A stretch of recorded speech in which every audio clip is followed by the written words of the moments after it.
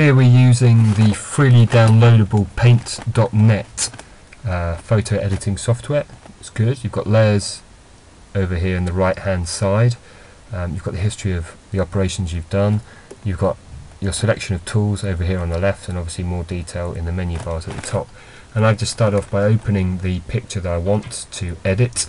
It's Coco Chanel. I'm just going to take a fragment of that. So the first thing I want to do is zoom in. So I can just do Control Plus and that'll allow me to zoom in quite a lot. The more I zoom in, the more detailed it's going to be. I can move these out the way because I'm not going to need them. And I'm just going to choose the rubber here on the right hand, left hand side. Uh, and I'm going to stay with a really chunky rubber because I'm just going to do it quickly to demonstrate. Um, you'd probably want to take more time with that. At the same time I'm rubbing out the background which is helpful.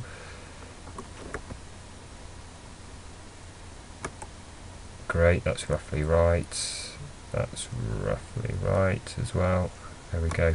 Uh, if you, when you're doing this, obviously you want to be as precise as you can so the final image looks really good. So you might want to go down to even two or one pixel at the end to tidy up those edges really nicely. Okay, I'm not going to do that.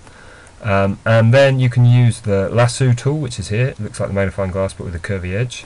Uh, but again, you get a rectangle around the canvas, so you might as well go with the rectangle tool straight away. Just going to move the toolbar out the way. So I'm going to take a picture of just that selection I want because we want the canvas as close and as tight around our actual image, otherwise it's going to cause problems in GeoGebra later when we're trying to select different parts. Uh, I'm going to Control C it and then I'm going to do a new file.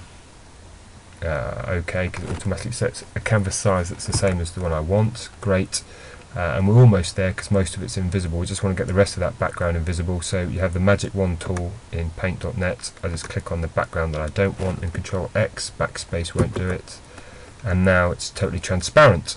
And then I'm just going to do file save as and it gives me a list of file formats. So I could choose JPEG I could choose GIF etc but we want PNG because otherwise we might lose the transparency um, when we're putting it into GeoGebra yeah Great, okay, so that was called Cocoa Fragment, brilliant, just please, that's all good. And so here I am, how did I insert that? Well, what do you do? You click, one along, you've got Insert Image, click where you want the bottom left corner of it to be, double click on the image and it inserts it for you. And you're away. Over to you, best of luck.